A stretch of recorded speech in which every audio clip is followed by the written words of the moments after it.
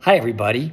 I'm putting this right at the beginning of the video. We have such an amazing and smart dive community that I get corrected. I love being corrected. Made an error in the video. You're going to hear me say that gradient factor has to do with the slowest tissue. It has nothing to do with the slowest tissue. I was corrected. It has to do with the leading tissue.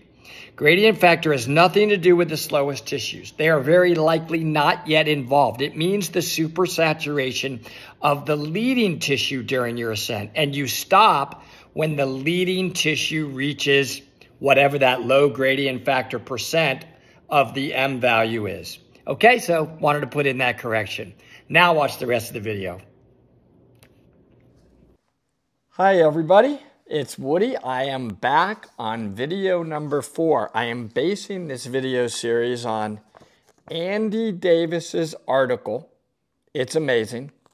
It's in the original video description link, video one link. It's called Shearwater Dive Computer Settings Become a Power User. I absolutely love this article. Here we go. Video four is all about what I find to be more complicated the low gradient factor. Okay, gradient factor low. Here we go. Don't mess this up, Woody. I think I got it. Now listen. The low gradient factor is for mandatory decompression stops. So if you are a now decompression diver, a recreational diver, you should not be subject to the low gradient factor because you're never going to have to make decompression stops other than your safety stop unless you have an emergency decompression stop. Then that low gradient factor setting will come into place. Okay, so let's talk about it. This is going to determine the depth where your first decompression stop occurs during your ascent. A lower number is a deeper stop.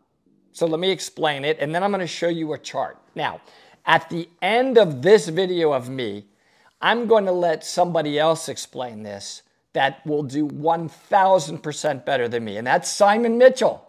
I have a snippet from a video that he did, which I love. It's on YouTube called Decompression Controversies. And I carved out this one part where he touched on this low gradient factor. It's amazing to listen to it after you listen to me botch this. Okay. So I told you that this low gradient factor determines the depth where the first deco stop occurs during the set. So for instance, let's say I have my low gradient factor set to 30%. Okay, so a 30% starts the series of deco stops deeper, for example, than a higher number, like a 50%.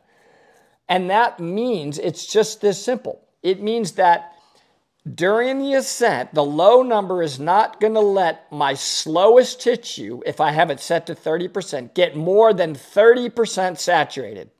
If it does, bumps into 30%, it's going to stop me. And I have to wait at that depth, whatever that may be, and off gas. And it won't let me go up further until it's at 30% or less. So if it's 50%, that's more aggressive. It means it'll let that slowest tissue get 50% saturated. So that's obviously a faster ascent without having to stop. There's so much controversy over this. Some people call it deep stops, and I'm not here to argue what's better. I'm only here to tell you that this is what it does. And really, I said that rec recreational divers, it really has very little relevance to them because if there's no deco stops, then the depth of that first stop is irrelevant. It only becomes a factor for a recreational diver if you go into decompression, which you should not be doing. Now, let me show you a chart. Sometimes it's easier to see this visually. I love this chart. Got it from Simon Mitchell, his article. Okay. I'm going to try my best to explain this chart. This is in his video, okay? So let me explain this. Over here, we have depth, this bottom part, depth. It says increased pressure and depth. Okay, this is also down here we have our high gradient factor settings and here we have our low gradient factor settings. This is our M value. This is the maximum tissue saturation that we could handle. This is a 100% gradient factor. So it's a little awkward because although the line is pointing down, as you move in this direction, you're moving from increased pressure, so you're deeper, and you're moving towards the surface, okay, as we go in this direction. From here, we're ascending, we're ascending, we're ascending, we're ascending, lower pressure, lower pressure. So you're, you connect the line between the low gradient factor and the high gradient factor, which is what's going to let you out of the water. And here's the M value. So for example, this happens to be set to a, a 3080. I'm not recommending that. I'm just telling you this is what it's set to. So bottom line is, as you're ascending, if you ascend to any point where your slowest tissue becomes 30% saturated as you ascend, you would bump into this new line that we drew and you would have to stop until you get to 30% or less. And as you're moving towards the surface, it's moving more towards your high setting. So the low setting applies at the deepest point in the dive, and as you're ascending, you're moving more and more and more and more towards your high gradient factor setting. So your percentage of saturation gets higher and higher, closer to the M line as you ascend based upon that high gradient factor number that you put in your computer. Okay, so this is causing deep stops.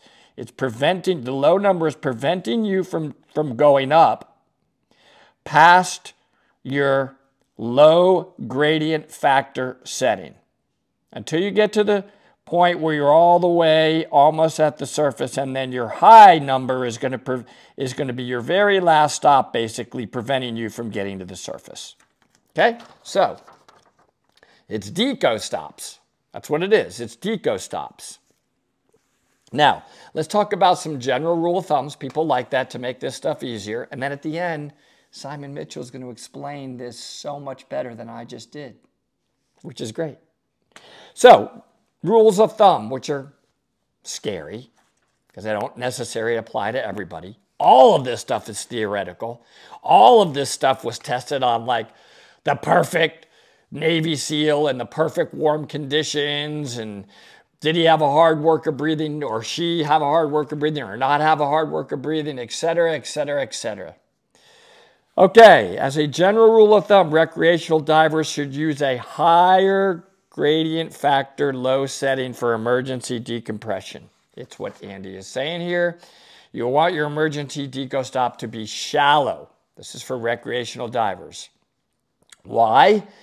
Because shallow emergency deco stops, according to him, are preferable because it maximizes the speed your body releases nitrogen. You have less pressure. It extends the duration of your gas supply as well. You're not in the point where you have um, where you're not very deep when you're doing these stops. So you have the ability for your gas to last longer for open circuit. Okay?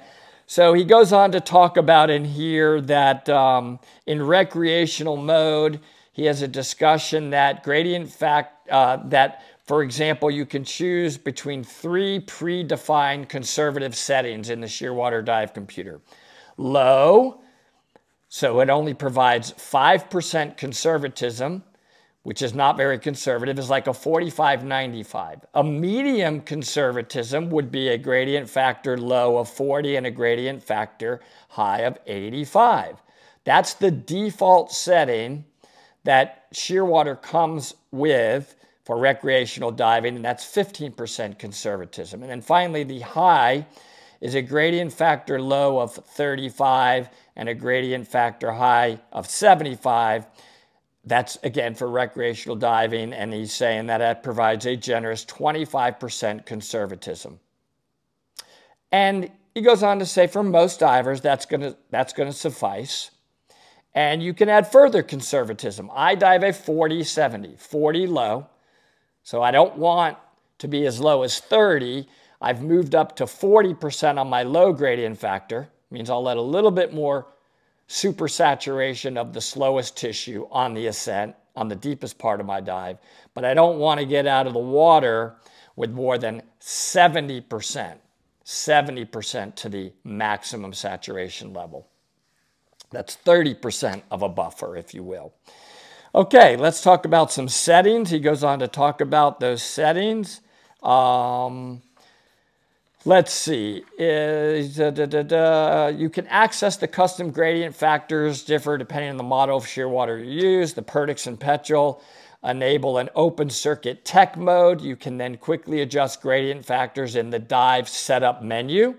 The Shearwater Peregrine in the System Setup menu, you go to Mode, Setup, and select Custom Conservatism. Then once you do that, you can change these gradient factors accordingly. So that is a discussion of the low gradient factor. The summary, that's controlling your deco stops in the deepest part of your dive. As you move towards the surface, that top, that ceiling moves up because you're moving towards your high gradient factor, allowing you to get more and more and more saturation of your tissues as you move up towards the surface, ultimately stopping you on your final stop so that you're not saturated more than your high gradient factor setting before you get to the surface. Okay, a nice snippet at the end of the video from Simon Mitchell. I hope this helped you understand the low gradient factor. Man, we got some good stuff coming. Now we're going to get into some super cool stuff that the Shearwater computer has, and I think you will find it to be even more interesting when we start talking about gradient factor 99, surface gradient, gradient factor, and more. See you on the next one.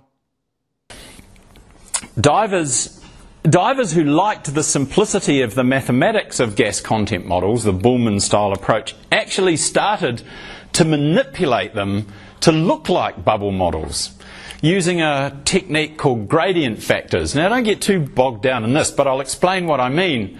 So, you've got a Bühlmann algorithm on your computer. What you could do, instead of buying a bubble model, you could just make it look like a bubble model. And so they use these things called gradient factors. So, for example, you, would, you might use gradient factors 2090. Now, that won't mean anything to you. I'll explain what I mean. What that meant was that when you started your ascent, instead of ascending all the way to the Bühlmann limit, you would ascend till you got to 20% of the Bühlmann limit for that depth, and that would define your first decompression stop. And then for surfacing, you would surface at 90% of the Bühlmann, oh, that would be your first stop there. And then you would surface at 90% of the Bühlmann limit, and the model would interpolate a line between those, and that would become your new supersaturation limit. And I'm sure you'll agree that what's unfolding there looks a lot more like that bubble model decompression that I showed you than a gas content model decompression. And that's, that was the intention, to make it look like a bubble model. And that's where we got to. In the mid 2000s, virtually the entire technical diving community was either using a bubble model or doing this to their Bühlmann model to make it look like a bubble model.